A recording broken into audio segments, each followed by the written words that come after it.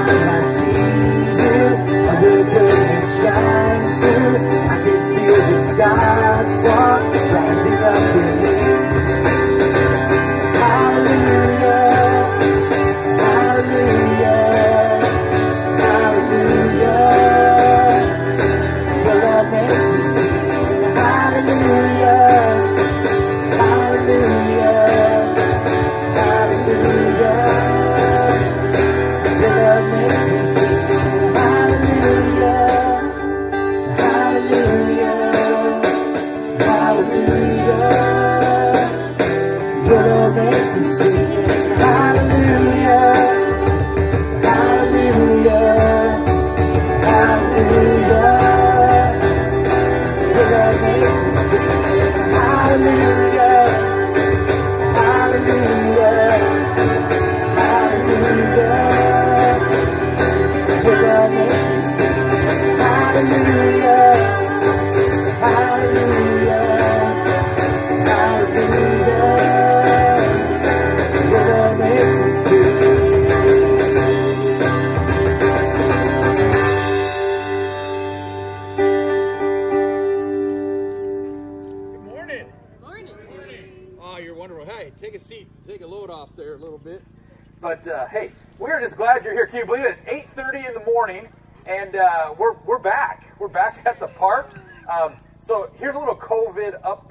For you.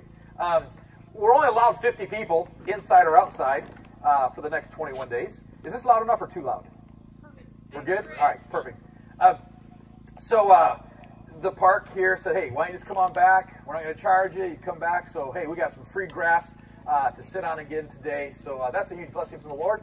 As well as there's a porta potty there in the back that's been donated for us uh, to haul in and out of here each Sunday. So if uh, that is what you need, it's back that way. No judgment for using it. All right, uh, just go help yourself. And then, uh, I mean, what a week! we have a week that it's been hard this week, hasn't it? as a community, we've had some some hardships, we've had some ups and downs. Uh, but also as a nation, it's been a hard, a hard week for lots of different reasons. But uh, our South Coast, uh, getting ready to embrace this hurricane this week. Uh, so I'm praying, and, and I hope you're praying uh, for them. Um, there's already been some destruction, but we just pray that, uh, man, two of them babies coming in here at one time, that's kind of a big, that's kind of a big deal. So, so be praying for, for them this week as well. Um, lots of other things taking place. I do want to just take a few minutes this morning to share kind of where we're heading for the next few weeks. Um, we're going to uh, to head uh, through the whole uh, Matthew chapter three. Actually, it's not the whole chapter. It's just going to be a, a, section of it that talks about um, the winnowing process and how uh, Christ has the winnowing uh, fork in his hand. And what does that mean? What does it mean when Scripture says um, that John the Baptist John the Baptist is baptizing people and he says, "Hey, I'm not worthy to do this." There's one that's coming after me that's uh, uh, a lot, you know, more worthy than I. Um, I'm not even worthy to carry his sandals because I baptize you with water, but he's going to baptize you with the Holy Spirit and with fire. Um, I think we misunderstand what that means sometimes. We're going to spend a couple weeks uh, talking about, about that, but I got to set it up to where we get there. So this week, uh, a little different. We're talking about disappointment uh, today and uh, messy life. Is, is life messy? Um, my life's messy uh, sometimes. So I don't know what your week was, but um, anyway, uh, mess. it gets messy and sticky. So yeah, I want to make an introduction. Um, uh, Bobby uh, Adams, uh, one of our Umatilla PD, uh, is with us, and it's his birthday. So Bobby, happy birthday today! And we're going to have you stand with your new little bundle of joy, Hadley, if you would. I can't walk back there because of the microphone, but um, but Hadley, uh, is this our second week of life on planet Earth? Yep. So, uh, so Hadley is uh, our, our newest little bundle of joy. I'm sorry, you don't, you don't need mess with her. Yes, you do. We want to see her. don't back up now. No, I'm not. I, I, mean, I got the hold of this week, and she was like a paperweight. I mean, it wasn't very heavy at all. Look at that. Oh.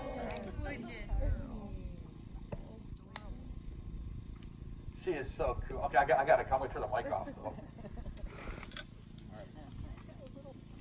Look at that. Let's just let's just uh, can, we just welcome welcome little Hadley this morning? Can you just give her the, the soft and, and her toenails, Mama painted. So here, those of you on on, on live stream, here, you, you, you, got, you got to see this. Um, you got to get the close up there. Look at that. Look at that. Mama's talent right there, right there, and a proud proud birthday dad. So, hey, join me, will you? And let's let's pray for uh, for Hadley today and uh, and mom and dad. So, Lord, thank you so much for Emily and Bobby and for uh, their life and how they're chasing after you. We thank you, Lord, for this little bundle of joy coming and uh, landing here with us. Lord, we're excited to see her grow. And uh, we just thank you for no complications during this delivery process. We prayed for Emily and uh, some of the complications during the pregnancy. So we're giving you all, all praise and rejoicing today for your healing touch there and uh, letting this process be smooth. So, Lord, we love you today, and uh, we're just so thankful for your blessings that you give. In your name, everyone said, Amen. Amen. Happy birthday, Papa. Thank you. Congratulations, Emily. Thank you. Wow. I mean, I mean, how, how cool is that? We don't. I mean, that's like, I, I just, I just love the little baby thing. One because I'm past that stage. At least I hope. So, we're we're there. So, all right. Hey, thank you, church, for your giving uh, with uh, with offering, and uh, you can give. We got the offering box actually here this week, uh, so it's there in the back if you want to drop it in, or you can go online. Uh, you can go with the app and you can do that, or go on the website and uh, do that. as well. We thank you for that. It helps ministry happen where we go through our community and around our world. So, so thank you for your faithfulness in that. Hey, pray with me this morning, will you? And let's go before the Lord as we continue in worship today. Father, today, as we enter your, your presence today, we're asking for you to have your way with us. Lord, we're giving you full permission this morning to work, to clear our hearts and our minds, help our attitudes to be focused on you today. And Lord, as we get ready for Matthew chapter 3, and we talk about you and, and how you, you take the, the, the chaff and you take it from the wheat and you clear the winnowing floor. Father, I pray that we, we have an understanding of Scripture that is maybe a little deeper than what we've known before. Encourage our hearts today, Lord, but also teach us and train us in your ways. We love you, Lord. In your name we pray. Amen.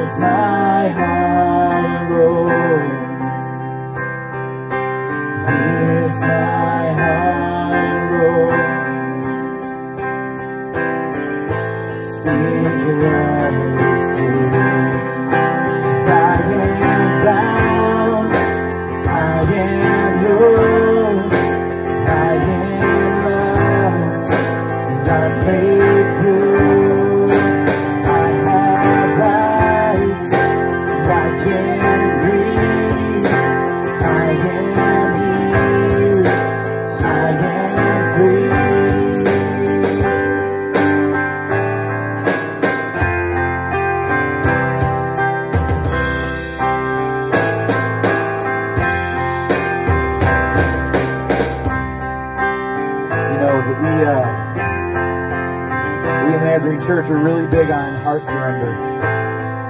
Our God asks really not a whole lot from us, considering what He gave up. He just asks for our hearts.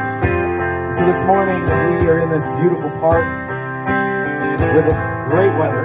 We really can't ask for anything better than today. Will you sacrifice your heart to Him this morning?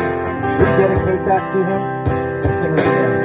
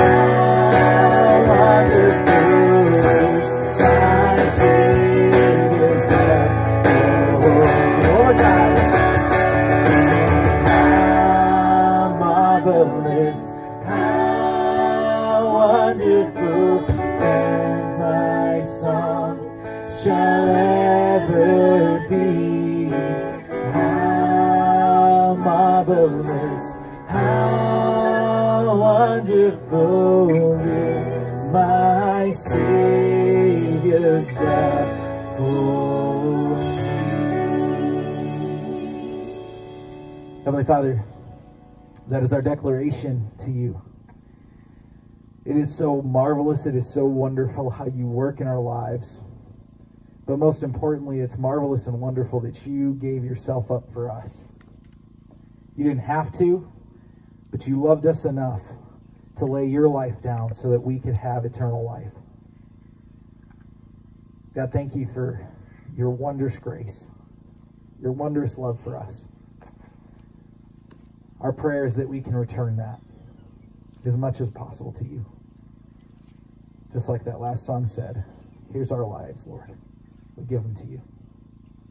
In the name of your Son. Amen. Amen. Well, guess what time of year it is? Christmas. Christmas. Who said that? Christmas, really? No. I'm with you though. I like it. I'm ready. I mean, this morning you wake up and it's nice and crisp. You'd be like, "Is it snowing out?" I didn't quite think that, but That's not fun. it, it, it would be good. Hey, no, it's back to school, right? I mean, for uh, for us, we have a lot of educators in our church. Uh, we have a lot of students in our church, and we have uh, uh, just a, a huge impact on our, our school district and um, life that happens on our campuses. So uh, let's just pause right now, can't we, and pray for our, our school district, our administration, our staff, our teachers, um, our unions, and I just I just ask that as a church, um, wherever you land on anything that happens when it comes to uh, our state and with education, uh, put your bias aside and just go to Jesus. Uh, that's what we're called to do. So let's just go and pray right now and ask the Lord to just have His way. Father, today, I pray that as a church, that we will be a church that lifts up our school district, uh, a church that is praying for our administration and our staff. It's not an easy year. Um, things are, are going to be a little bit rocky, maybe. Uh, things are going to change, maybe daily. So I pray right now that you'd help us as a, as a body of believers to just lift them up with our hearts. Father, help our prayers, Lord, to, to know that, that you're listening. So I pray that, that we don't know how to pray sometimes, but I just ask, Lord, that your will be done. Help us pray prayers of encouragement. Encourage our staff. Encourage our teachers. Encourage those, Lord, that make decisions. Give them wisdom. Give them discernment. Give them a spirit of boldness. Uh, Lord, I just pray that uh, you'd help uh, in all of these things that take place as teachers walk back on campus and uh, learn a new way to do things. Father, it could be a little uh, uh, disheartening, maybe, because they're not with their students. But Lord, we pray. Good things are about to happen in your name. Everyone said? Amen. Amen. So, Facebook Live, thanks for being in here and tuning in with us today. Um, we're trying something different for you.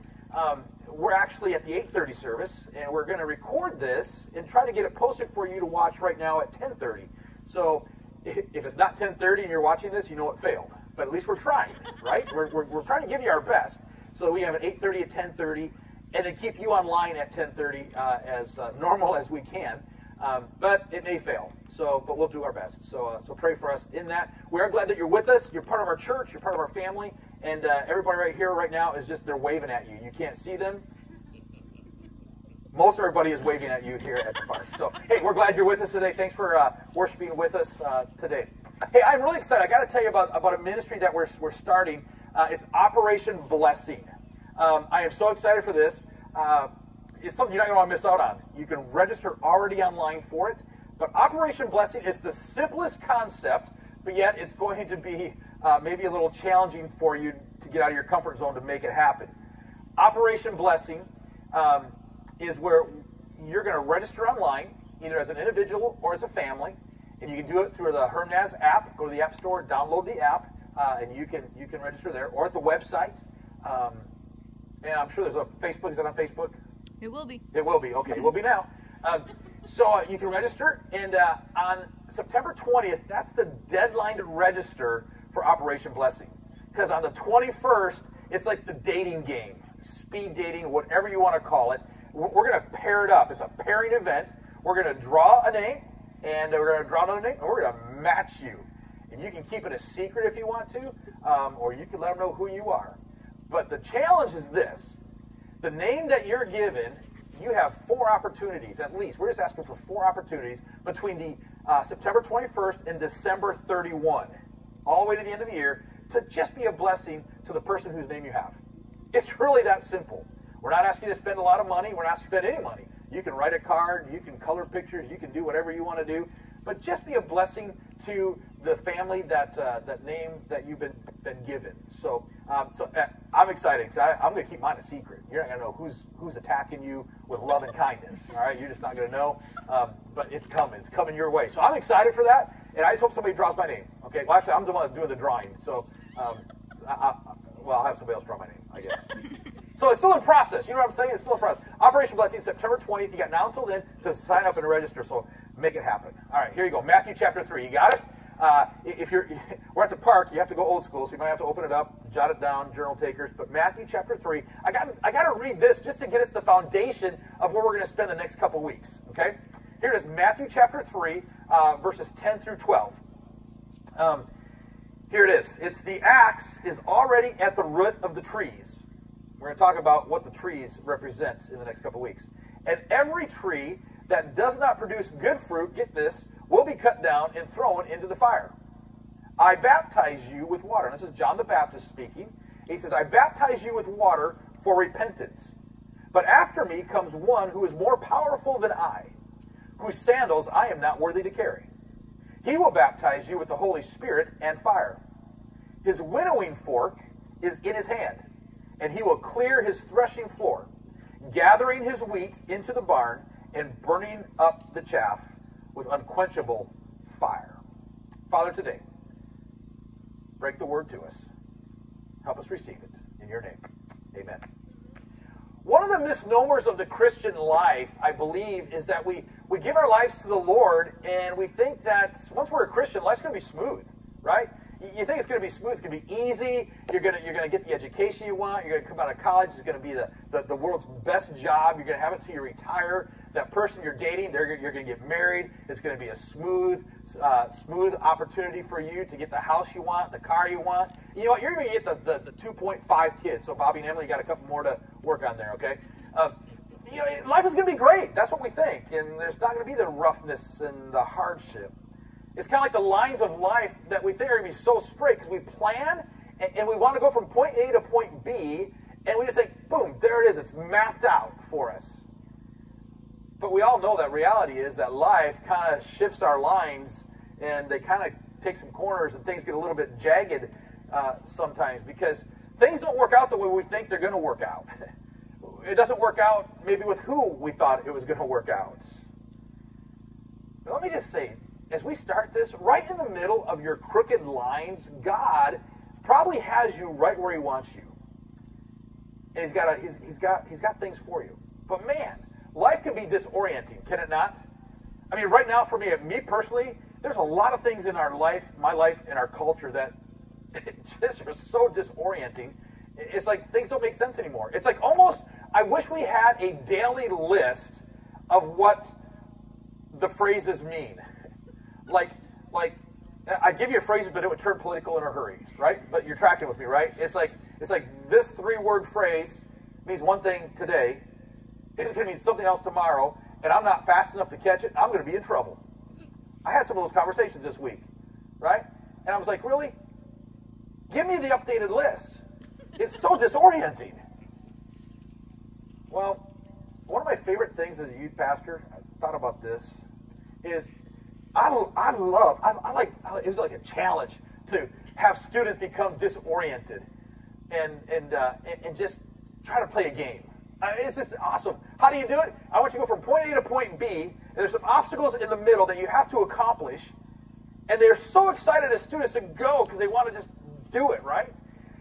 But the second thing they end up doing after the whistle blows is they have to stop and they spin in circles right? Like 80,000 times in a circle until they almost puke. And then they have to run to the object, right? The next obstacle.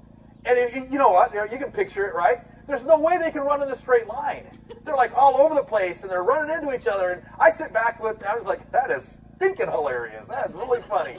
You know? And then they go down, and just when you think that their life's going to get straight again, we even spin in more circles. And they get to the end and they're like, they're like, throwing up, and I mean, it's, it's just awesome. It's like every right, Pastor Michael. It's like a youth pastor's dream to play a game like that. At least it was for me it back in my day. So anyway, the disoriented part of life, though, it, it's like it's like we don't like it, but yet we do for some odd reason. But then it wears on us, doesn't it? Philippians 1 6 says this I'm certain that God, who began good work within you, will continue his work until it is finally finished on the day when Christ returns. You know, I feel like I have a roadmap. I feel like I got lines in my life to go from point A to point B, but I can't quite get there. And Philippians is saying, no, listen, the, the God who began a good work in me is going to continue that work until. Until. And he says he's going to do it until, not when it gets rough. When it gets rough, he's not, you know, you're not done. He didn't say he's going to continue it until he's just fed up with all of our mistakes. He doesn't say that. He says he's going to, going to continue it until it is finally finished when Christ returns. So, how do you measure that? Well, the answer is God's started something in us, and He's not done with us yet. Well, how do you know God's done? Anybody ever feel like God's done with you? I mean, sometimes I hear people say, "I just God's just got to be done with me in that." No, listen. This scripture here is pointing out, and He's saying, "Listen, if Christ hasn't come back yet, He's not done with you yet, right? We're still hopefully, I mean, here, right? And you're sucking air today. Uh, Christ hasn't come back. You're you're not done. You still have things that have to be accomplished through you. Pretty good indicator that you got work to do. Romans 8 28, we know it. I'm going to read out the New Living Translation. It says that, uh, actually, I got the sun. Why is the sun out at 8.30 in the morning? Does it not have a clue? What's up with that? So, okay, Romans 8 28. He says, And we know that God causes everything. You know what everything is, right? I mean, for me, everything is the good, the bad, and the ugly. It's everything. It's like a whole package deal. And he causes everything to work together for the good of those who love God and are called according to his purpose for them. I read that same passage of scripture out of the out of the message version, and it says this. I like the way it says this. That's why we can be so sure that every detail in our lives of love for God is worked into something good. It doesn't say, Scripture does not say that uh, uh, every detail in your life is going to be good it says God is going to work it into something good. How many of you are like me? It's not good, so you kind of stop. You pause, you reflect, and you change the line and go a different direction because you're not quite liking the way it feels. No, Scripture says no. God's going to use wherever you're at, whatever you're faced with, whatever the disappointment is in life, whatever the disorientation is in life, He's going to work that somehow for the good. If you just keep your eyes focused on God. Because he didn't say everything was going to be good. I know that when my crooked lines are crooked, he's got a plan because word says that he's going to work it out in me. Reality is this life can be messy. Is your life messy? Uh, life, life can be, be messy. It's great when it works perfect, though. It's great when, when, uh, when things all work perfect. But Life gets messy a lot of times because I've done something. I've messed it up. Sometimes life gets messy because somebody's done something to us. We understand that. And sometimes life gets messy and we have no idea why. It just seems like it happens. There's no clear reason why. And that's dangerous because what we try to do is we try to make up the reason why life is messy. And we lose sight sometimes of God saying, hey, hey, listen, slow down, back up, give me time to work. I'm going to work something good here. So here, I want to give you three realities to messy lives and then three things that Jesus uh, helps us with, all right? So journal takers, here you go. You ready? First one is this. Uh, messy lives can be disappointing. Messy lives can be disappointing. Proverbs 13, 12. Read it out of the message again. It says, unrelenting disappointment leaves you heartsick but a sudden good break can turn life around. I love how that word how that's worded that way because that's what I want. I want that good break in there, right? Do you know what unrelenting is? Unrelenting is bad news after bad news after bad news after bad news and then again after bad news. It's unrelenting. There's no relief in sight. But Proverbs here, the promise is like, no, listen, there's a good break that can turn our life around. And man, today, if you're like after uh, life and you're like, man, it's been one bad thing after another, bad news, bad news, bad news, bad break. Listen, there's a good break that can happen. Scripture says that can turn your life around because we serve a God that can be the one that turns your life around. We can't do it on our own. I uh, I remember back to my first grade. I was reminded of this story as I don't know. I was talking with family here a couple weeks ago uh, of my first love. First love that uh, that I, I remember anyway. Um, it was a first love. Uh, it was Mrs. Bowling. Mrs. Bowling was my first grade teacher. And I sat there in class every day and I was like, she's wonderful. You know, I, I had a plan. I, I was like, she, she's my girlfriend. And then, much to my disappointment, my friend said that she was already his girlfriend, or that she was already his girlfriend. And, and, and I looked at him and I'm like, no. I mean, we almost had to step outside in first grade, take care of some business in the woodshed, right? but I remember thinking that that oh man, someday. Well, obviously that didn't work out that way, right?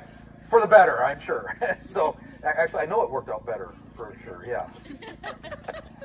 but you know, sometimes life's disappointing because it's not the person you thought you were going to date. I mean, how many of us have worked up the courage to ask that somebody out because you thought you read the signs right? right? You felt the emotion there, right? How many made yourself look like a fool when you did that? Pastor Michael and I were the only two honest people at the park today. Right? Man, I thought this, I, I thought, I thought, but I was wrong. And your heart gets crushed. It's a disappointing moment. Or you're going to graduate high school and go to college and, and you get your job and your career and it doesn't work out that way. You're disappointed.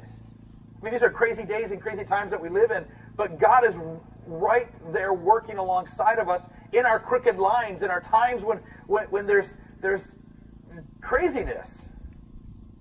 Some of our lines, crooked lines, happen when we stand before a pastor and before family, and before friends, and before God, and we say our vows.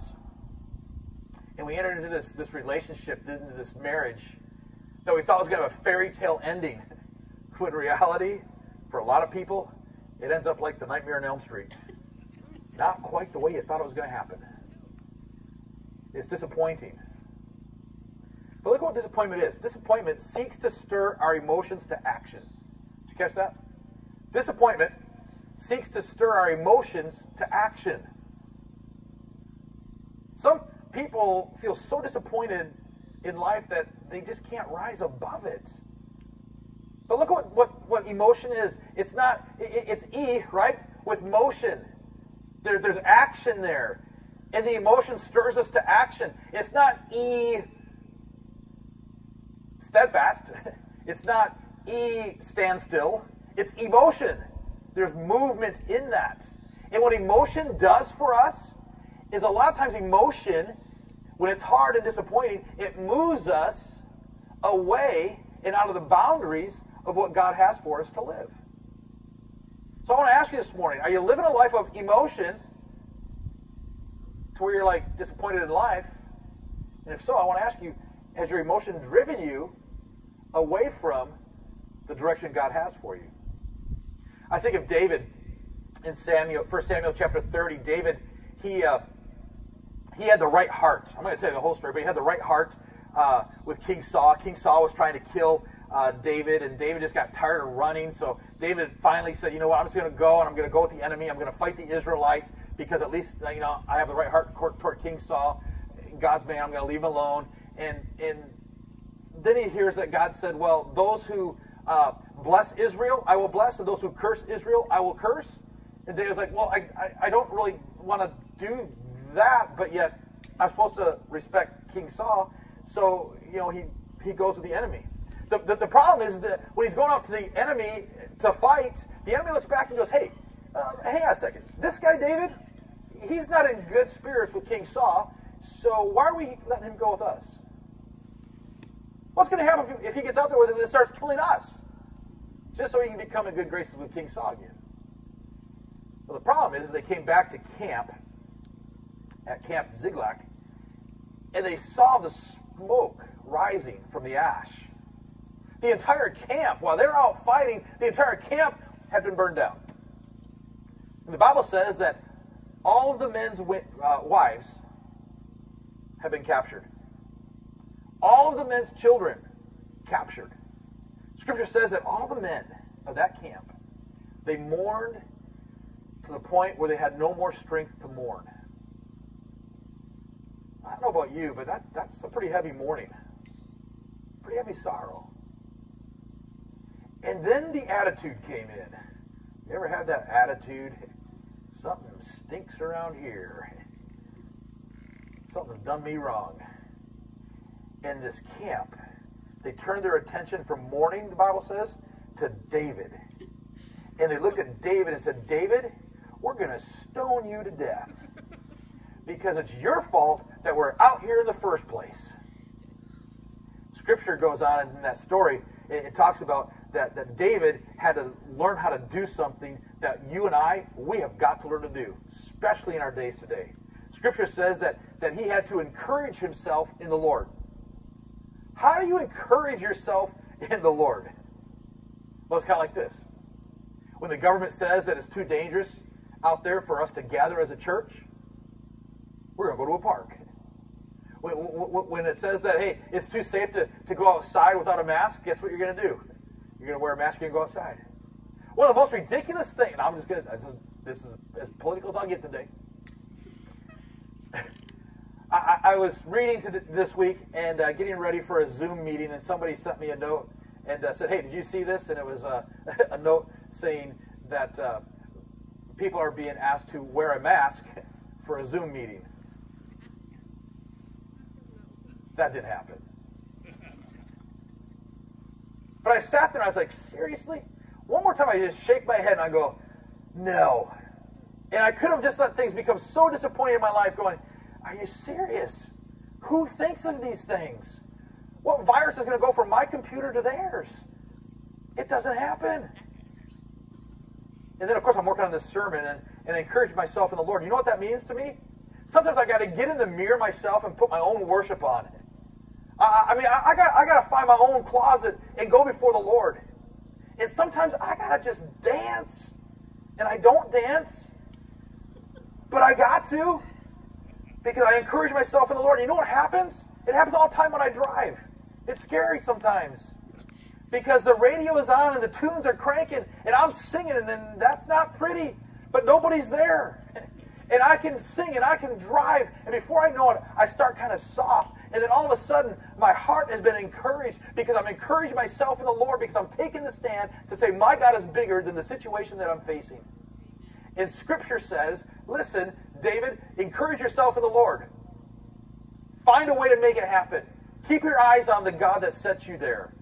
Look at the promise that He has for you. Look at the task that He has for you. Encourage yourself with that. Some days we're going to have to get ourselves encouraged with the Lord. How do you do it? Turn off the electronics, open the Word.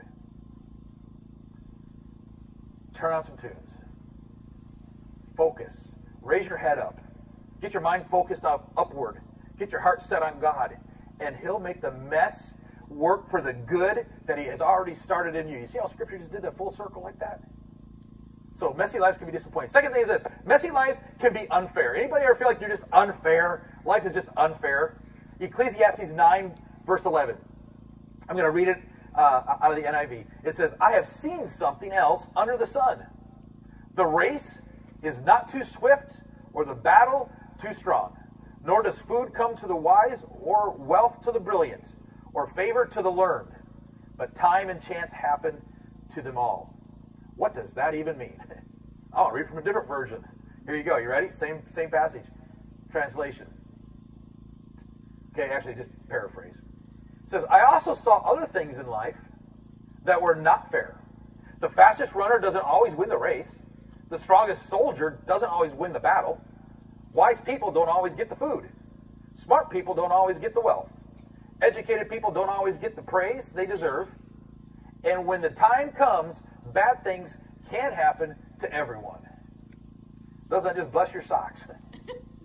All the hard work you just put into, into living your life? Unfair. See, we can do the right things and not have it come out the right way. Life can be unfair.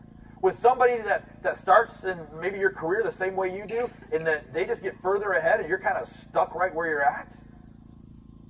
Maybe you're doing the, all you can. Maybe you do the best you can to live for God. You chase Jesus. You strive for Him. You do everything you can do. And yet you look at somebody who is far from God, who maybe who, who just turns their back on God, who lives the evil life, and you look at their blessing, their blessing, their blessing, their blessing after another, and you sit back as a Christian, you go, "What is up with that? I'm the one that's loving the Lord." okay, maybe I'm talking to myself. I don't know, but Proverbs 37 says this. Don't fret. In other words, don't worry because of those who do evil, who do wrong. Don't be jealous of those who do wrong. For like grass, get this, they will wither, and like green plants, they will soon die away. But trust in the Lord and do good. If we just stop right there and just do that this week, how amazing would our life be? But it goes on, it says, Dwell in the land of the Lord and enjoy safe pasture. Notice it does not say, uh, dwell in the land of the Lord and enjoy uh, an, an easy life, or a clean life, or a fair life. No, it says, enjoy a safe pasture. There's safety in the Lord. Take delight in the Lord, and He will give you the desires of your heart. You can never go wrong, church, when you have your eyes focused on God and do things God's way. Never can you go wrong. It might look like nothing's working in your direction and working for you, but you can never go wrong even when things get disappointing. So life can be unfair. Third thing is this messy lives can be confusing. Anybody been confused since March? How about this morning when you got out of bed? What'd you do? Did, did you go straight to the media and go, okay, what is uh, going to be confusing today? Okay, I mean, I, I did. I'm like, okay, what's going to happen today in the world? Sometimes there's no clear thing to why, and that's the dangerous part that we were talking about earlier, is that, that people walk around trying to figure out the answer to why and, and you see them walk around, they're just dark. They can't get out of the darkness of life. Because what happens is we start thinking, well, what if I would have lived this way? What if I would have made this decision? What if I would have just responded, no, listen, you have no idea, do we? If we would have made a different decision or lived a different way, we don't know how the outcome would have come out. But we talk ourselves into it. Just like we talk ourselves into saying, oh man, God must really be mad at me because uh, God did this to me. Can I just tell you that's not how God works? God loves you so much. He wants nothing but good for our lives. Don't get consumed with the why, but trust God and move forward. Deuteronomy 29. Um, 29. It says that the secret things belong to the Lord our God. the whys, right? The unclear whys, belong to the Lord our God. I mean, you ever wonder about Jack and Jill? You, you, you think of that? Jack and Jill went up the hill to fetch a. Jack fell down. And. Did you ever stop and think of why did Jill tumble after him? Was there not a different route down the mountain? We don't know why Jill tumbled down. We know that she saw him tumble. We saw him fall. We saw even the he knocked his noggin. Oh, I think that looks good. Let me do that. We don't know why. It's a secret thing. We don't know. But the secret things belong to the Lord our God. But the things revealed belong to us. When God reveals something to us, we own it. The promises that are in God's word, we own it. When God said that He gave His life on the cross for us, we own it. We can grab a hold of that. And then it says, and our children, it belongs to them forever, so that they may follow His laws. So there's three realities to messy lives I just gave you. There's a lot more, I'm sure. But I want to give you just three quick truths that we can grab a hold of today. First one is this Jesus is our Alpha and our Omega. Beginning, middle, three quarters, 98% all the way to the end. Amen? Okay, there's like not 50 of us here, but I heard you, kind of. He's the Alpha and Omega. You know what that tells me? Nothing surprises my God. He's with me from the start of a situation, in the middle of the disappointment, in the middle of the, the fear and anxiety, in the middle of the confusing times, all the way to the end. And I'm still here, so he's not done with me yet. He's going to make it all good until he comes back. Well, I get excited about that because I know that I got something I got to do. It's kind of like going from point A to point B. Um, I, I, love my, nav, my, my navigation stuff, right? My tools, right? What did we do 20 years ago? I mean, I know what I did. I got lost a lot. Um, uh, I, I, called. I got directions. I wrote them down meticulously. Right. I still got lost.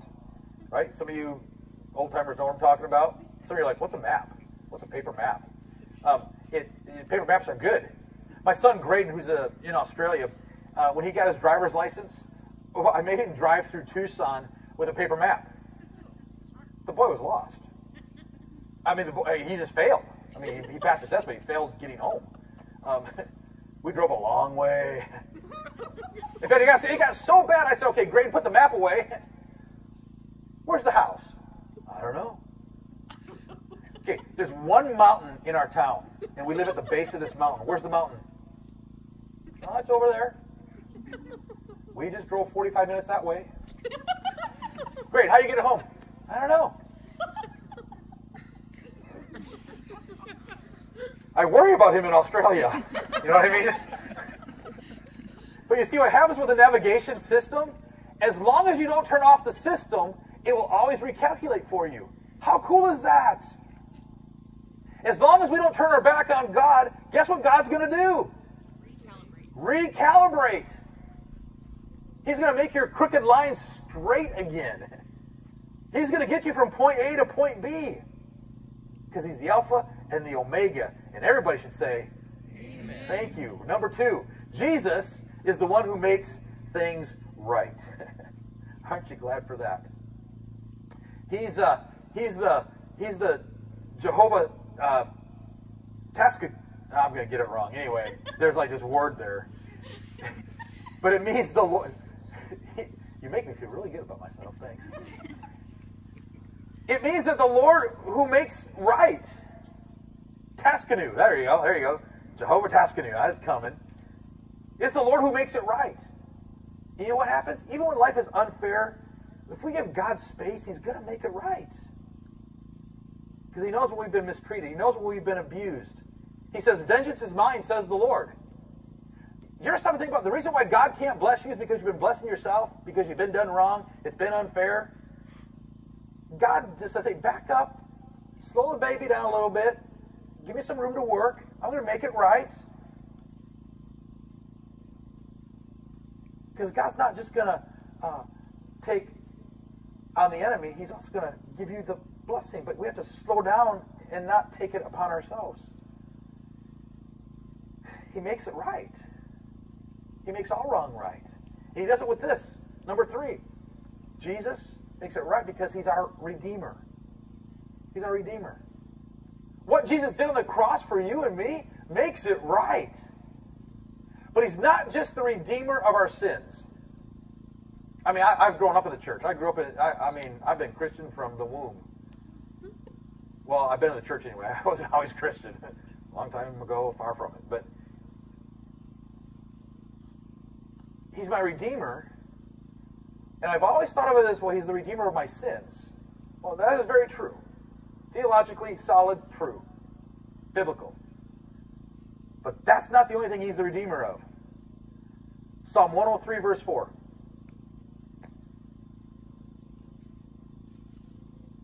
Who redeems your life from destruction. Talking about God in the first part of that, that chapter. God, who redeems your life from destruction, who crowns you with loving kindness and tender mercy This tells me that Jesus is the one who fixes all things that are broken as long as we bring it to Him. I wish I would have known that maybe five years ago, some of you are thinking. Or maybe some of you are thinking, I wish I knew that before I got married, or before I entered retirement, or before I had kids. I just wish that I knew that, that, that He saved me from my sin, but He also redeemed me from the destruction part of my life. Listen, you might think you missed out on some things. In my testimony, I missed out on some things. But then I look at Joel 225 it says, I will give you back what you lost in the years when swarms of locusts ate your crops. Listen, I've had locusts in my life. I've had sin. I've had the bad and the bad and the bad and the bad and the bad. And you know what? I missed out on a lot of things. But when I gave my heart to the Lord, those blessings, guess what happened? The blessings came back. And you know what I'm not missing out on? I'm not missing out on things I missed out on anymore. I mean, God just, it, however He does it, He makes it, it's like you don't even miss it. God knows all the secret routes. God knows all, all, all, the shortcuts. And He knows how to get you from point A to point B. He can fix your route. All right, I want to end with this. I couldn't find one. We used to have one and we wore, we wore it out. But let's see if you know what it is. It's a, uh, they're about this big. They're square, red, with a gray screen, with two white knobs. You draw with it. Thank you. Etch sketch. How many knows what those things are? Just raise your hand. You know what they are? Bobby and Emma are like, I have no idea what an etch sketch is. Okay. All right. All right. So, so it's, it's one of those things, right? I mean, I would sit there for hours and I'm trying. I'm trying to make straight lines, right? I'm trying to make make straight lines make a circle, right? That that just doesn't work, right? But some people can do it. I just was never good enough to make my two hands work the way that they're supposed to work on those knobs. Listen, if you're living life and you're feeling like your dreams have been shattered, and you're living life today and you're feeling like you're in the darkness because of disappointment or confusion or disorientation of, of life or culture or the world that you're living in, um, God hasn't left you. God, God, hasn't, God hasn't forgotten about you. God takes these, these crooked lines and he makes them straight again. What do you do with an etch a sketch to create something new? Yeah. You shake it. Shake it to the left, shake it to the right. That's all I do. Anyway, so, so, so you shake it, right? And it like wipes it out and it becomes clean. And you know what you get to do? You get to start it over again. And that's what God, mean, can you just picture God doing that in your life? Going, hey, listen, you know what? We're going to just kind of shake you up. Matthew chapter 3, the winnowing fork, the winnowing fan. It's a little bit of shaking going on. We're going to get into the shaking next week. Because see what happens is, is the shaking, God saying, listen, I'm shaking you, I'm shaking you just enough so you know that something can happen in your life if you'll just back up, slow it down, raise your head, focus on me, let me shake you, let me straighten those lines out a little bit. So maybe today, if you're feeling like things are unfair, hard, disappointing, listen. Matthew chapter 3, we're going to walk away, I hope anyway, and realize that not everything that's going on in our world right now is from the devil. All of us have probably heard, oh man, everything going on is all of the devil. No, it's not. It's really not. It looks bad. Not everything that's happening right now is evil. It, might look like it. But Matthew 3 reminds us about the etch a sketch. He's shaking up a little bit. Do you feel shaken? Do you feel like we're living life where things are just like uncertain? Hey, the etch a sketch is moving. Left, right, up, down. I mean, God's saying, I'm shaking you just enough because there's some separation that's going to happen. And you better be on the right side of the separation. And that's when I get excited to know that everything that's going on in, in, in my culture right now, I mean, my own world, you, you all, we all have different experiences. But in my own world, listen, God's just doing some shaking. Yes, there's evil. Yes, I'm not saying that evil is not prevalent in our world. I have not said that. But Christians, let's not give the devil more credit than he deserves. Because God is at work. And at work, sometimes we don't like the way God works because it doesn't feel good. But what he says is, I love you enough. I'm going to the cross so that the shaking that I have to do in your life, you don't need to worry about it. You just need to stay focused on me so I can go and create in you the work that I have planned and making all the bad be worked into something good because it doesn't matter who gives you praise at the end of your day. The only praise that matters is when you stand before me at the end of the day, at the end of your life, at the end of your time, and you hear this phrase, Well done, my good and faithful servant. When that happens, my etch a sketch picture rocked it. Complete. Done. never to be shaken again. I get excited about that. I want that. I hope you do too. So, Matthew chapter 3, be involved in that, be reading that, and, uh, and go with, uh, with that maybe in your devotions because He can make all things, He's going to make all things new. We just need to give it up. And maybe we just need to surrender and let Him actually take control of the knobs. Pray with me. Father, today, I thank you for your word. I thank you for your message. I thank you for the challenge. And Lord, I pray that you would just uh, uh, help us, help us as, a, as, as human beings, as your creation, to realize that, you know, you are God. And not everything in this world is evil, but you are at work. Your hand is moving mountains. Your hand is, is making uh, some things that look really bad. You're forming it, and you're going to make something good come out of it. So Lord, I pray that our hearts are able to see what it is that you're doing. And maybe this morning, right where we're sitting here in this park, there might be someone that's saying, hey, Pastor, I'm just going to raise my hand because, uh, yeah, there's some shaking in my life. I thought it was all of the devil, but maybe I'm realizing now it's of God. And I need to listen to God. Will you just pray with me? You just put it up, put it down. I'm just going to pray for you this week. Got the whole lot of shaking going on in your life. You realize it's God. I know it was a song term. But what's God doing? Anyone else? We pray all this in your name, Lord. Everyone said? Amen. Amen. Right on. Hey guys, thanks for being here today. We're gonna we're gonna uh, let me just tell you before you go on on the whole COVID thing. Um, we are going to be here until Christmas, or at least when the weather gets bad. Um, so uh, uh, if there's bad weather on a Sunday morning, um, we're still going to do, and if the cap is still 50 people the way it is now, um, we're just going to move from here back to the church building because we can be 50 inside or 50 outside, right?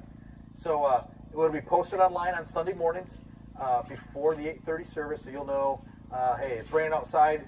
That's probably pretty obvious. We're not going to be here. We'll be there. But sometimes it gets pretty windy, right?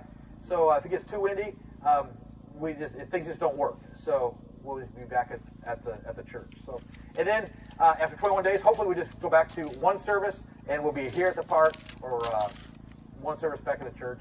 But hey, thanks for being flexible. You guys are great. We have Pastor Mike and I. We were talking this week. We really do have the best church. Um, we have horror stories that we could tell you from other churches that are just a mess because uh, people are not patient and uh, they're just they're just not. And you're patient. You're not throwing things at us. So we love you back. Okay. Go have a good week. Hey, shake hands. No, don't shake hands. Like, do something on your way up to tell people hi. All right. I know bad habits are hard to break. Yell at each other. Yell, yell at each other. Holy yelling.